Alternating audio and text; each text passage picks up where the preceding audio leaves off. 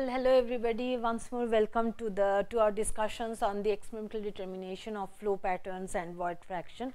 We were discussing, if you recall, we were discussing the impedance probe technique where uh, the uh, the void fraction or the distribution of the two phases they are determined based on the difference in either the electrical conductivity of the two phases or the electrical capacitance of the two phases and we had discussed the advantages of the impedance technique. And also I had told you that for microsystems usually arc electrode probes they are used. Where in this particular case you can see the arc electrode probe is of this particular design which are used in macro systems and for this arc electrode probes we find that um, uh, based on electrostatics the following derivation can be done. From which we can find out a relationship between void fraction and admittance for two different cases. One is dispersion of gas bubbles in liquid and the other is liquid droplets in the gas. For any other sort of distribution, the mathematical derivation has not been done in that way and we know very well that none of these distributions are applicable for microsystems. So, therefore, um, what is usually done is as we were discussing generally since nothing intrusive can be done here. So, although a large number of varieties of probe designs are available uh, while uh, in macro systems namely the um, grid electrode probes, the point electrode probes, but usually the area average arc electrode or a modified version of arc electrode probes are usually used and I had already discussed this particular design of the probe. Now, since these things were not very available, so usually apart from the raw signals, people usually have performed the probability density function analysis of the random signals. Now, as I had already discussed or the curves generated or the probability density function curves obtained from an optical probe and at that time I had told you that I will be discussing what a PDF or a probability density function is after some time. So, in this particular case I would like to discuss this before discussing the PDF curves generated from the random signals. Now, the PDF curves they are nothing but the smoothed out version of a histogram which depicts the distribution of amplitude of the random signals and the time interval over which the signal is recorded, it influences the nature of the PDF. For example, suppose you are recording, it is quite evident, suppose you are recording the signal for a very short while. Okay. Suppose it is slug flow and you are recording the signal for such a short while that it just can capture the situation where the Taylor bubble is traversing the, uh, the optical probe or the impedance probe whatever. So, from that particular signal if you want to derive some information it will appear that it was actually annular flow with a continuous gas core and maybe some amount of liquid film. Okay. Or in other words, if the recording is so very less or rather the recording time is so very less that just the liquid slug is captured or maybe you have captured 5 liquid slugs and maybe 3 short Taylor uh, sorry 4 short Taylor bubbles then it may appear that either only liquid was flowing or maybe it was a bubbly flow pattern. So, therefore, in order to obtain a proper rather a proper idea or proper appraisal of the flow situation, it is very important to see that the time of recording is quite high. And uh, so, this particular the, this influences the probability density function curves and so therefore, either the recording is done over a large amount of time or in other words large number of recordings are done and all of them are averaged properly in order to obtain a reliable probability density function curve. And uh, it is quite obvious that therefore, a constant and if we record it for a very long period then naturally we will get the nature of the curve which will be which will not anymore depend upon the period or the time of recording. It is quite natural. If we record the signal for such amount of time, which is larger than the fluctuations in the flow signal, then naturally what we get? We get a stationary PDF. For example, in the for the bubbly flow, we would get one a, a unimodal PDF with a large voltage rather with a large peak at either a low voltage or a high voltage depending upon what type of circuit and what type of measurement technique we have taken. If during water flow the output is a low voltage, then for bubbly flow we will be getting a unimodal peak at low voltage. If during water flow we get a high voltage peak, then for bubbly flow the unimodal peak will be obtained at high voltage. Just the reverse happens for annular flow. And if we are taking the signal for a very large amount of time, then we will find that we can differentiate between wispy annular flow and liquid ring flow and slug flow and maybe dispersed flow because all of them for all these signals there will be some particular differences in the PDF curves. It can be either in the mean value or it can be in the in the uh, standard deviation or the spread of the PDF curve. So, depending upon all these things we are going to get different curves for different flow patterns as we have already seen for the case of optical probes. And uh, usually the um, these uh, the moments of the PDF curves their number one is the mean value of this signal which gives you a rough idea regarding the average proportion of the two phases and of course, it this is the derivation or rather this is the expression I should say of the standard deviation of the signal and the nature of the peakedness of the or the nature of the spread can be obtained from the skewness or the kurtosis. Now, let us see what are the different type of signals which had been obtained by Paranjape et al. for the different flow situations they had encountered in a microchannel. Quite naturally, we would observe that the, the, uh, from the, uh, the just a direct visualization of the raw signals, it was always not possible to differentiate the flow patterns. If you observe this particular signal and this particular signal, just from the basic appearance it appears that they might be something similar. And we find that a better appraisal of the flow situation was obtained once the probability density function curves were taken.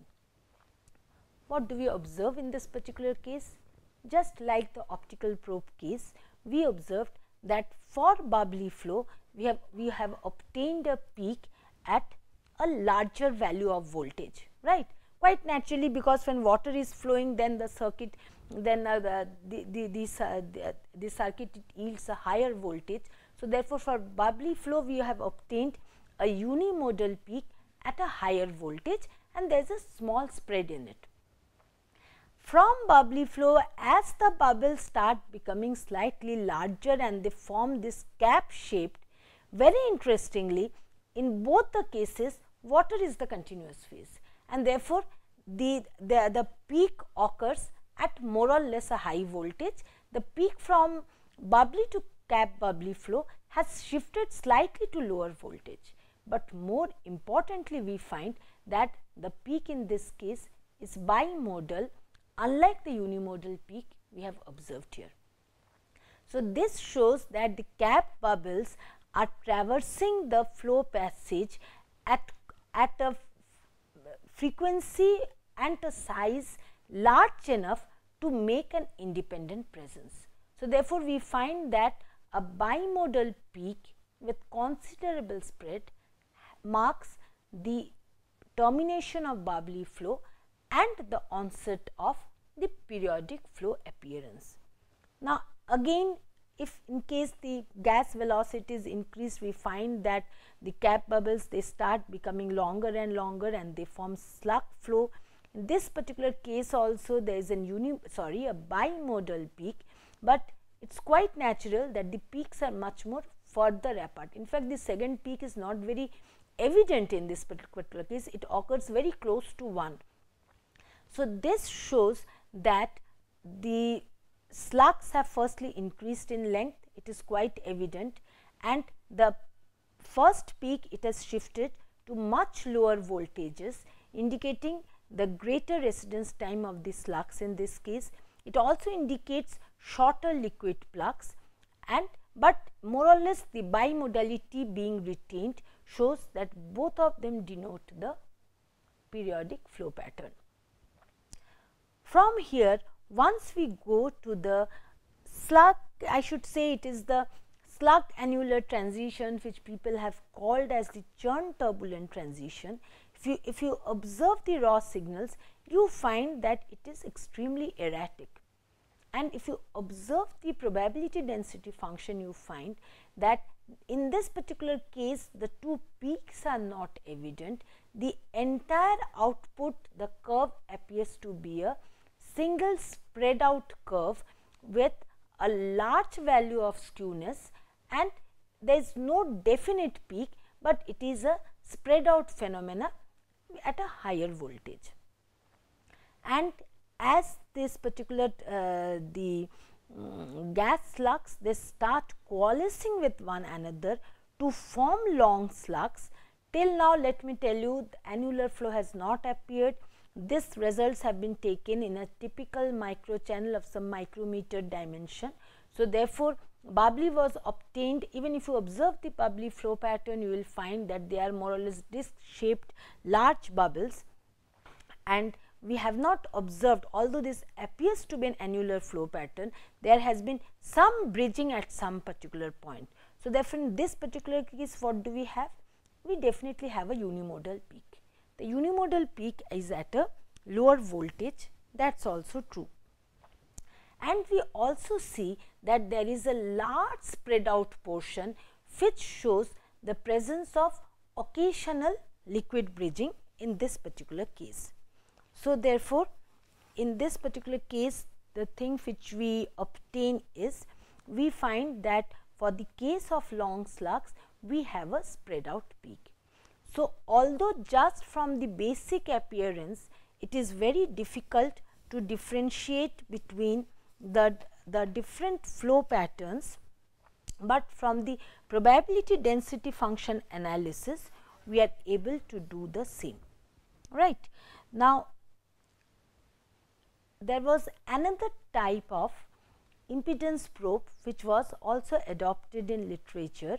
Well, I have represented this particular probe in that this was used by the uh, second group of researchers that I have mentioned. In this particular probe it is very interesting. Here what they have? They have got two electrodes which are flush mounted to the two walls which more or less it signifies or rather it is sort of the arc electrode probe which is used for micro sorry macro systems. In this particular case what do we have? There are heli this is a helical electrode configuration where if you observe one particular electrode it is wound like a helix on the conduit and the other electrode is also wound like a helix which is opposite to the first electrode and along with that there is a shield electrode between the two. This particular shield electrode it fixes the stray capacitance and makes an analytical approach of the helical cross capacitor possible.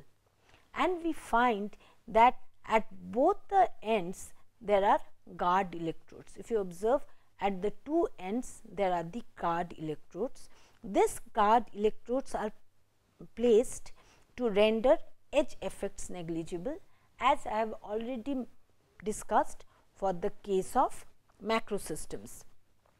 The guard electrodes are connected electrically to the two shield electrodes.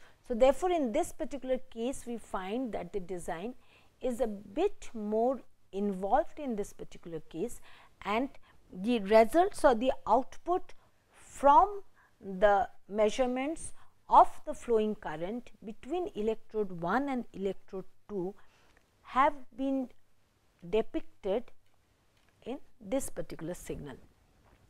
Well, here of course, they have used the same uh, probe for a large test section as well as for a, smaller test section definitely it is a mini channel. So, therefore, stratification occurs here. So, if you observe these signals then in that case you will find that it gives you for smooth stratified quite expectedly it gives you an almost straight line.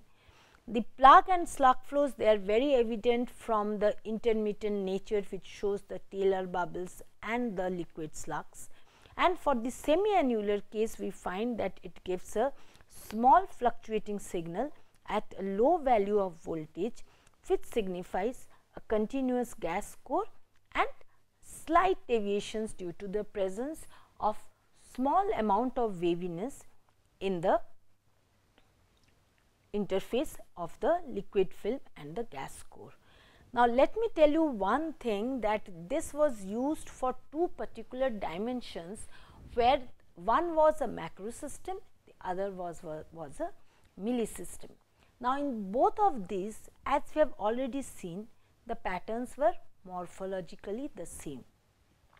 There were slight differences which could be captured by the probe, but we are as yet not sure how well this particular probe would be performing for a micro channel where the entire distribution was different variations of slug and we would have to capture the differences between the slug as has been done by the modified version of the arc electrode probe. This could capture the variations between cap bubbly slug etc., particularly after the probability density function analysis was performed. Now, this particular slide it gives us a very good idea or an objective idea regarding the distribution of the two phases in a mini channel and a macro system. If you observe the annular or the semi-annular flow pattern, just by comparing the two signals, it is automatically evident that the amount of interfacial waviness is less here, it is much higher here. Then if you compare the slugs in these two particular cases, you find that the slug flow pattern is marked by a greater amount of disturbance as compared to the slug flow pattern here. In this particular case more or less we have straight more or less we have peaks and we have got straight valleys. While in this particular case we hardly have any straight valleys. The primary reason being the aerated slug, liquid slugs in this case and the unaerated liquid slugs in this particular case. So, therefore, uh, we from here we find that as far as micro channels are concerned for the measurement of flow patterns the most widespread technique is the flow visualization and photographic techniques accompanied by suitable image analysis of the different techniques rather sorry of the different images. Few researchers have attempted to develop an objective flow pattern indicator either by using the optical probe method or by using the capacitance technique. Now, remember one thing whenever they had used even the optical probe the intensity of the incident laser had to be much less and for the capacitance probe also although conductivity probe is more popular for macro systems, but in micro systems usually the capacitance probe has been used. And we have also seen that the probability density function analysis has led to an enhancement of the amount of useful information that can be obtained from this measurement device. Now, at this particular juncture, I would also like to tell you regarding a brief idea about the void fraction measurements, right. Now, flow pattern estimation means nothing but measuring the distribution of the voids, right. But if, if we want to find out any useful property of the uh, two phase mixture, say its two phase uh, your uh, two phase density or the pressure drop, we would want to have apart from the distribution of voids, we would like to have the average void fraction. Now, how can we measure this? The common, the most common technique to measure void fraction is for macro systems is typically the quick closing valve technique. What does the quick closing valve technique do? Let us say it is the simplest technique. Simply in the flow passage, we have two ball valves or two quick closing valves located at the two ends. When we have ensured that the flow is fully developed, steady state, simply the two valves are closed simultaneously at one particular instant and the two phases are trapped between the two valves. The trapped two phase mixture is then separated out or it separates by gravity and the volume fraction of each is noted to find out the void fraction of the flowing two phase mixture. This is the most common and the most reliable technique for macro systems and any other most sophisticated techniques which are much more popular say the radi radioactive absorption and scattering techniques or the impedance techniques, the, all of these have to be calibrated with the volume measurement technique or the quick closing valve technique in order to obtain a reliable estimation. Unfortunately or fortunately, the quick closing valve technique cannot be used for microsystems. Firstly, there are some fabrication problems, you cannot fit two valves and all those things that is definitely there. But more importantly, we find leave alone micro channels. Even if you are dealing with milli channels also, we find that the two phases do not separate by gravity. Even if you are working with a air water system also, they do not separate by gravity on simultaneous closure of the valves.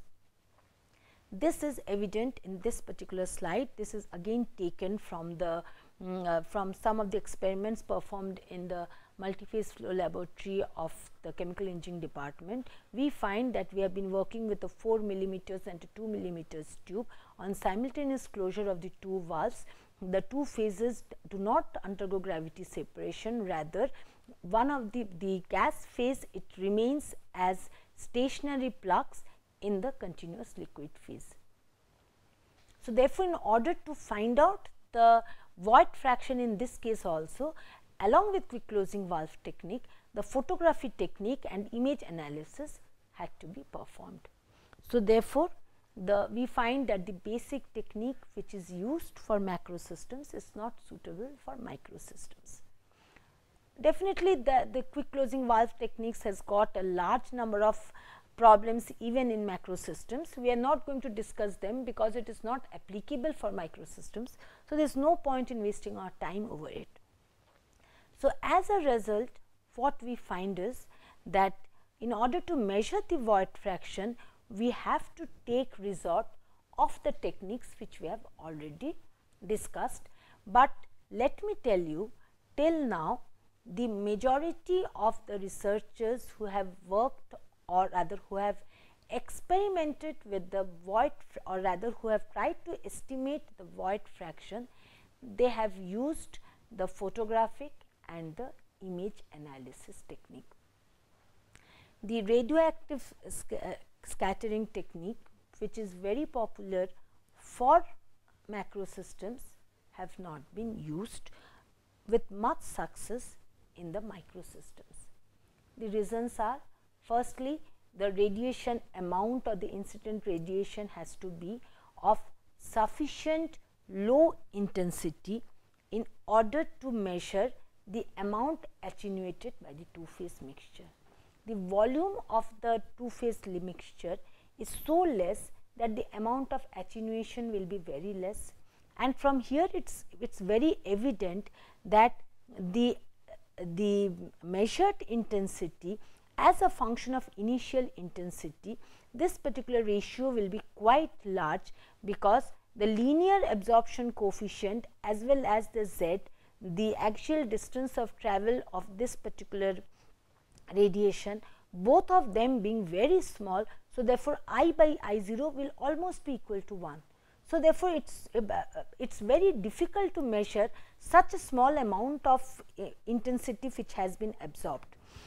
And the other thing is we find out that well, um, so for that particular reason and when, when the amount of amount which has been absorbed or attenuated is so small, then naturally the uncertainty or the error associated with the measurement also becomes very large. This is number 1. So, radiation absorption cannot be used or it is not it very difficult to use this radiation absorption in microchannels. Now, about the impedance probe techniques. Impedance probe what do we find? We find that as I have already mentioned the relationship between uh, uh, impedance and void fraction that is a very sensitive function of flow pattern and unless we know flow pattern it is very difficult to obtain an idea regarding the interfacial distribution. And as I have already said that estimating flow pattern itself is not very easy. Fabricating of probes for a micro channel that is also very difficult. So, with all and the other important thing is we have to remember that in order to obtain an accurate quantitative estimation of void fraction using the impedance probe, it is very important that we have an accurate estimation of the conductivity of the liquid phase and the gas phase and since the conductivity changes with a large number of parameters, it is very difficult to obtain a proper estimate. The other thing is if we have to obtain a proper estimate of the void fraction, it is important that we have an a priori knowledge of flow pattern and this itself is difficult for microchannels. So, with this I end my discussion on the experimental techniques of determining void fraction and the flow patterns or the distribution of the voids, we find that all said and done, we still rely on visualization techniques including photography and associated image analysis both for estimation of flow patterns as well as estimation of void fraction. In the next class, we will first be discussing regarding the um, influence of several operating parameters on the distribution of the two phases and then we will shift over to the discussion of the variation of void fraction with different input parameters. Thank you very much.